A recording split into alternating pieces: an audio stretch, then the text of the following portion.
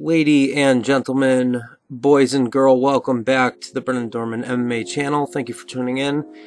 This week's episode will be on the Lion Killer, Garry Tonon, fellow Renzo Gracie Academy fam, and John Danaher student. Um, his MMA growth has been absolutely um, ridiculous and exponential, especially on his feet. We all know his grappling skills, etc. So let's get going with it. So nice exchange to start. Tonon kind of lighten his feet, level change into an overhand right. There's an attempted counter left by Lee here, who's, you know, a pretty heavy-handed guy. And he's also a world champion grappler. I think he's got one to Tonon's, say, seven.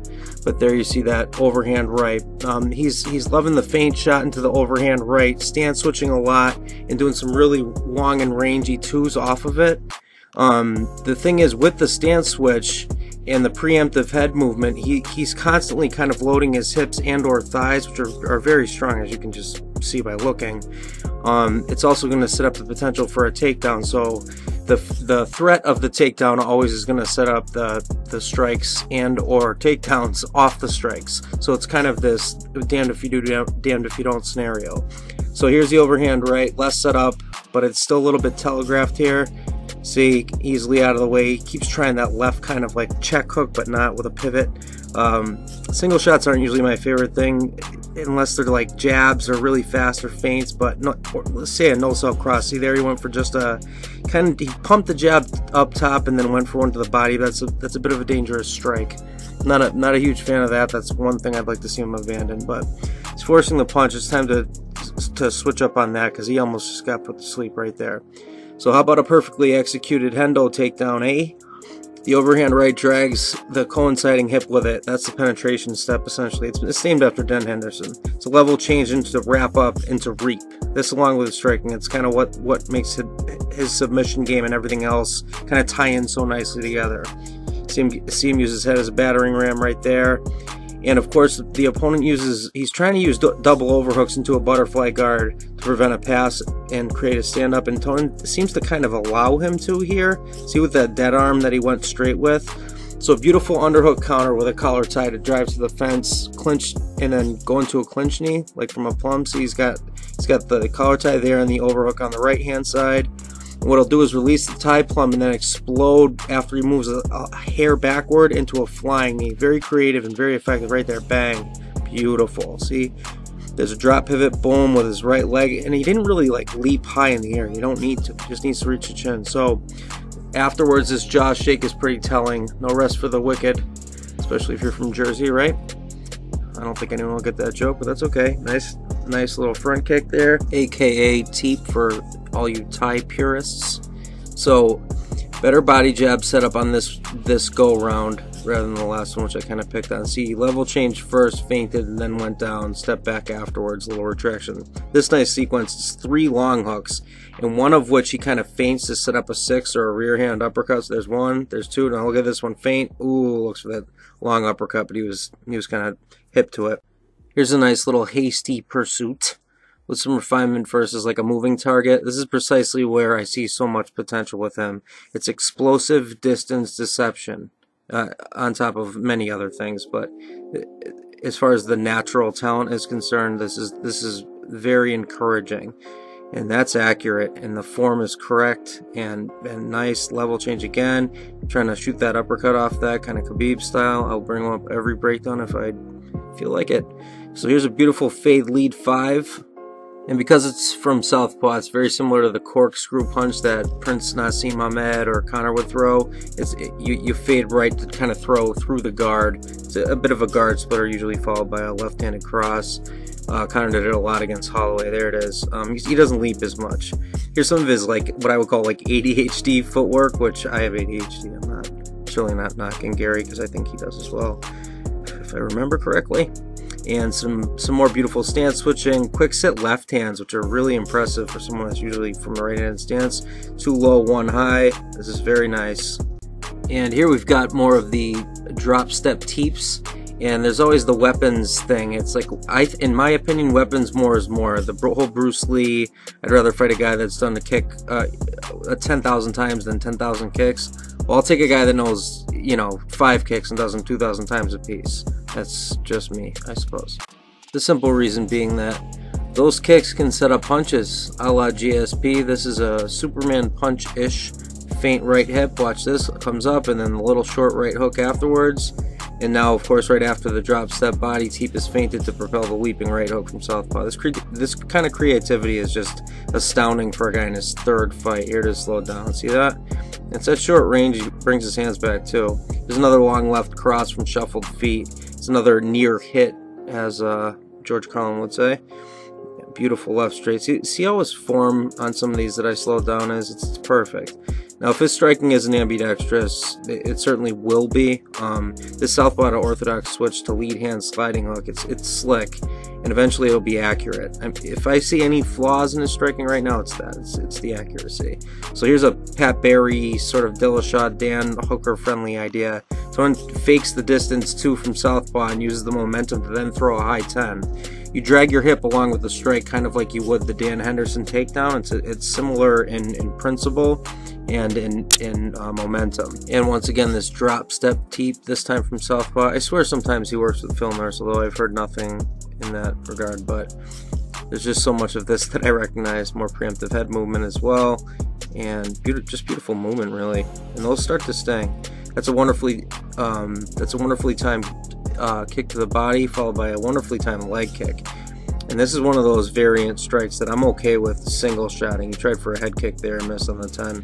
But a beautiful shuffle, and he kept his eyes high, had the opponent thinking middle 10 to catch and counter. And instead, it's kind of like that knee buckle um, because he was so heavy on it. See how it goes to catch there? Now, when you do, you, you tend to bend at the knee there and put all your weight on your front leg. But the 10 missed either way. Right back at the same time, leg inside uses the left. So here we go, boom, lead leg, and puts his hands nice and high and retracts. Here's some more drop stepping and switch dancing. This time it's a jab followed by another one of those corkscrews. Here he is, head in, head out, bang, perfect. Again, notice form. It's important. There he goes for the corkscrew. Now he doesn't fade off like the others, but still wonderful.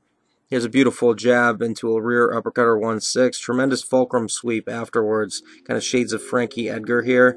Um, see that he's shuffling his feet, square hip, boom, comes in. Now the guy kind of bladed his hip, so he couldn't get that completely executed, but nevertheless. It's a nice scramble out, however. Sung Jong Lee is an excellent grappler, as I mentioned prior.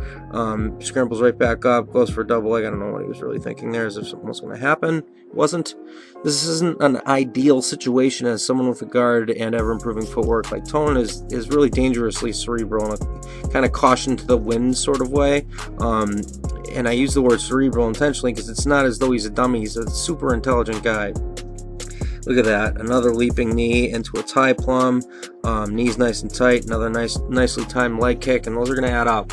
Good example of circular footwork. This is sort of his um, ode to Ali, if you will, circling, popping his jab. Um, I wonder if uh, he had done this in the UFC, if he would have got as much shit as someone else did for it. Um, there he goes for the two to the body. He's got to be careful with really high level strikers with that. This is what I learned as a rag kick. It's kind of a wonder boy. You saw GSP do it against Bisping, but you chamber up a round kick to then kind of get stagnant and go side with it. But he went nice and high with his toes there, catching him on the chin. That's beautiful work. Um, and here you're just seeing one fighter slow down and the other one starting to put on like an athletic clinic. He's evading, he's controlling distance, he's countering, he's hitting without without getting hit really or taking significant damage anyway. And it's it's it's starting to become one-sided. See how he kind of flopped to the fence there? I mean that, that's that's noteworthy. Beautiful jab into an uppercut once again. And there's the kind of preemptive head movement, quick sit, he's just constantly moving and then exploding. I talked about that on the podcast right there when he kind of drop stepped into southpaw and then leapt into that. Beautiful. And he'll finish out the round, the round uh, strong here. Little jab, beautiful movement. Off the jab, he did a nice little two to the body. So beautiful start the next round as GT kind of goes with the jab hook fade. This one's a, a, better example of like a check hook where he kind of fades to his own left off of it. So pop jab, here he comes, and then he's going to fade off. That way the other person's three won't hit. So the snake charming movement and cadence and outburst are seemingly putting Lee in like def defense only. And honestly, like I can't say I blame him, even though the, the real threat hasn't begun. Um, here he is in and out, but everything. See, look at look at Garry's movement. I mean, this is his third fight. It's absurd one at 145 with his strength, his wrestling, his submissions, were he's dangerous. It's crazy to say otherwise. So this isn't shades of TJ Dillashaw. I really don't know what it is. Windmill taunt into head kick, constant center line breaks, etc., etc., etc. No X in that word. Nice head kick off the uh, windmill. It's a beautiful 10 from the rear, followed by two more.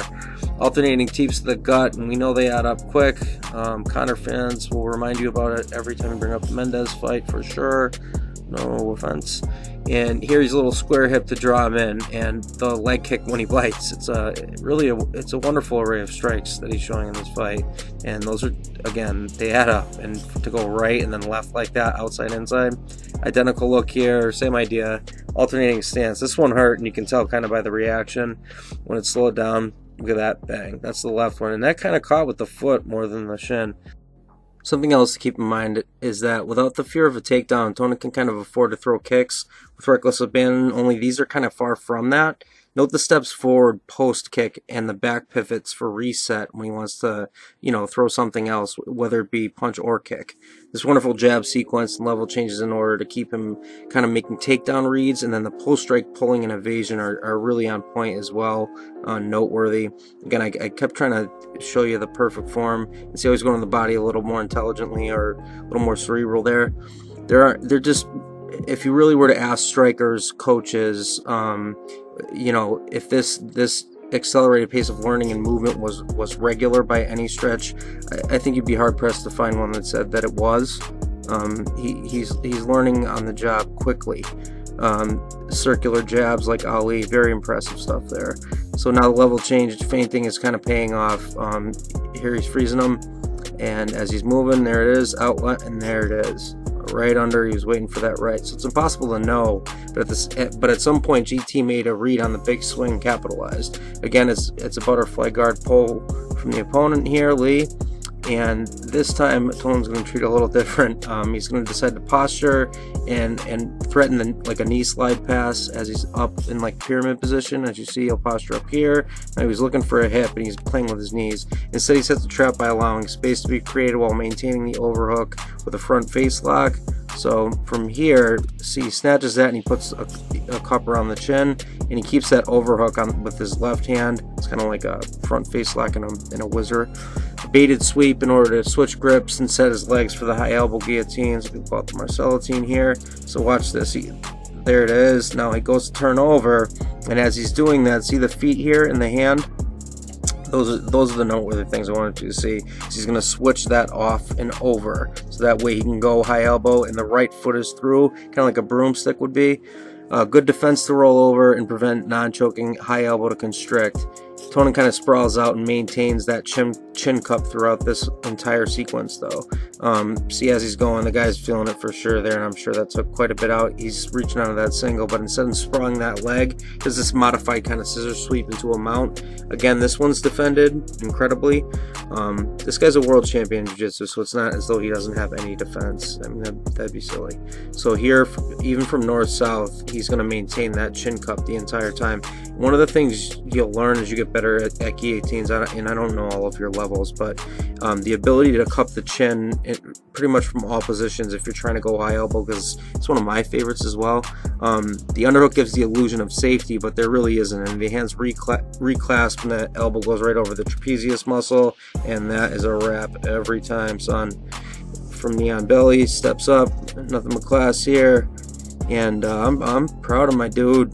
Garry Tonon, I remember him being a purple belt um, that that long ago. I go back with them, and this is just a, another angle of, of everything where you can see from north south. Now I don't know what he was doing there. Maybe touching at his nose because he got a clip. Look at that beautiful timing on the underhook there.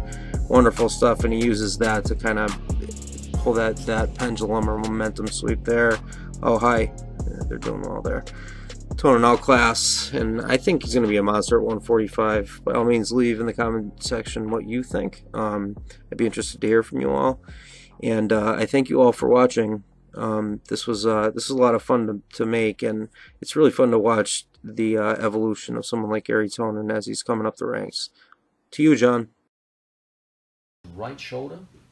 Once I get my grips, I turn my right shoulder in so that we're side on. I connect my hands, my elbow comes back. Watch my head go from Bernardo's right shoulder across to the left shoulder.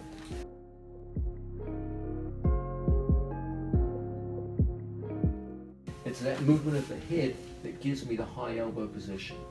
Now I take my support leg and I hook tight in here with my right foot. My second leg goes high up and touches my own elbow and my leg passes across.